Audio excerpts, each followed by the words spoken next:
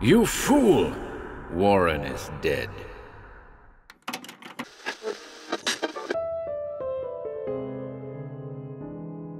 Welcome to Horror Babble. Well, folks, today we're thrilled to present a piece of flash fiction penned by my brother, Gary Gordon.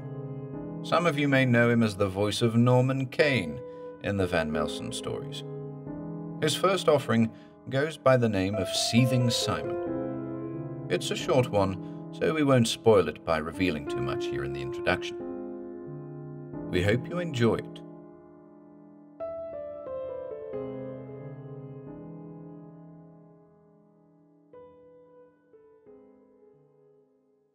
Seething Simon by Gary Gordon. Michael awoke with a start. Sweat soaked his grimy, grey, deflated pillow. He raised his heavy, aching head and slowly attempted to focus his eyes on the strange, dark, fuzzy shapes of his normally familiar, small, untidy bedroom. Nothing stirred, not even the tiniest hint of a sound. All he could hear was the fast, rhythmic pounding of his heart. He lay there for what seemed like an eternity, but in reality was actually only a few seconds, trying his best to make sense of the disturbing fractal jigsaw pieces of horror that were the ensemble of his nightmare. After a few more seconds, Michael attempted to lift his weary torso from the torn and ragged sheet free mattress, its springs yawning and creaking, emitting a sorrowful tune in the process. Then, reaching full stretch to his right, he fumbled at the lamp, Michael's short, stubby fingers fiddling unsuccessfully for the switch. As he did, he felt the light touch of velvety fabric dangling fronds upon his cold knuckles. Wait, Michael said. He whispered softly but with urgency to himself. In an instant, the memories of his nightmare began to return to his waking consciousness, filling his tired, pulsating brain with horrendous, terrifying imagery.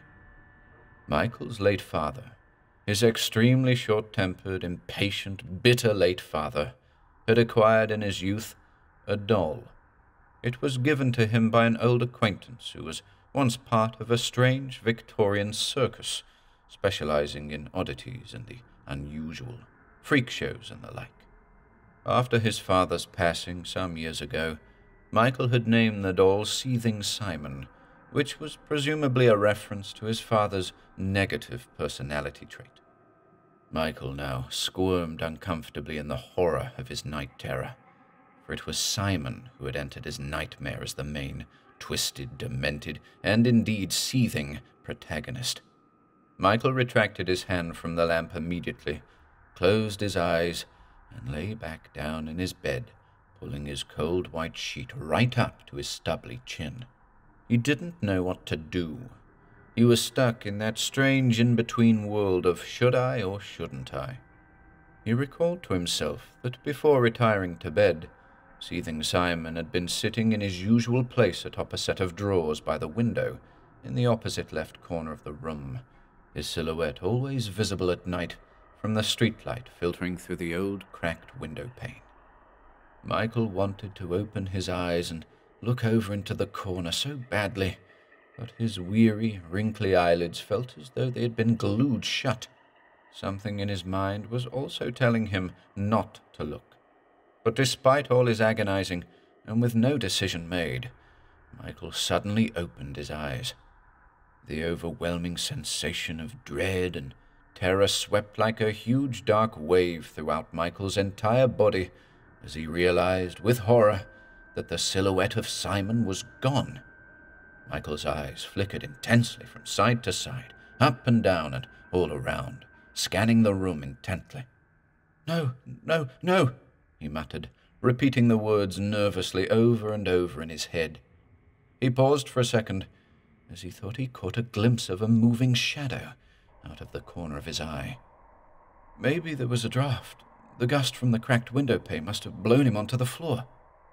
Michael knew that was impossible the minute he thought it. I know, he continued to think. The vibrations from a vehicle driving by outside shook him off. He knew deep down that too was improbable, if not also impossible. Abruptly, Michael's thoughts were instantly focused on a noise, a somewhat disturbingly creepy noise. It sounded like a soft, high pitched giggling emanating from the direction of his unlit bedside lamp. Michael sat immediately upright in a complete and utter manifestation of fright and unspeakable terror. He sat there, shaking in fear, blindly attempting to make sense of the sound. Suddenly, the bedside lamp illuminated the room. Turning his head slowly to his right, Michael's rational mind instantly made the connection as to what thing had brushed his knuckles a few minutes earlier not the velvety fronds of the old antique lampshade, but the soft, shimmering locks of seething Simon's hair. Simon sat casually on the edge of the bedside table, one hand on the lamp switch, a small shaving blade in the other. Michael couldn't breathe or make a sound. His thin body, frozen in terror, could not move. The only sound he could hear was that of the gurgling and trickling of his own blood as Simon moved the blade somewhat meticulously across Michael's pale, skinny throat. Slowly, slowly, oh, so slowly.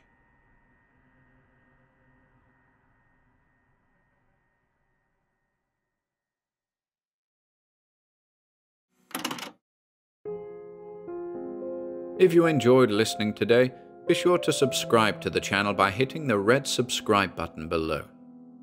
After doing so, click the bell icon next to the subscribe button to receive new content notifications. If you'd like to support our work and receive exclusive perks, consider becoming a channel member by clicking the join button below. To support us in other ways, see the video description for links to our Bandcamp and Patreon pages, our merch store over at Teespring, and further information relating to our releases on Audible, iTunes, and Spotify. And until next time.